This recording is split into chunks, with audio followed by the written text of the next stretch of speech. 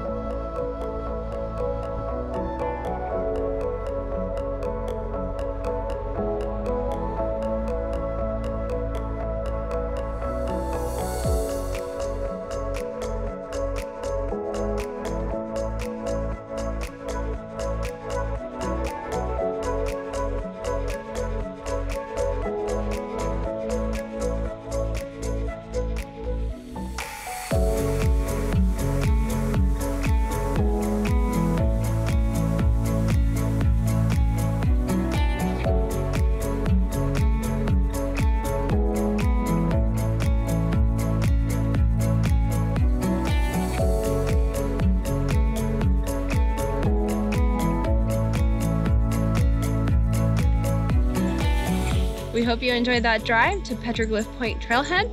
Yep, we're gonna go hike it. If you're interested in seeing that video, click on the card up here and we'd love to share it with you.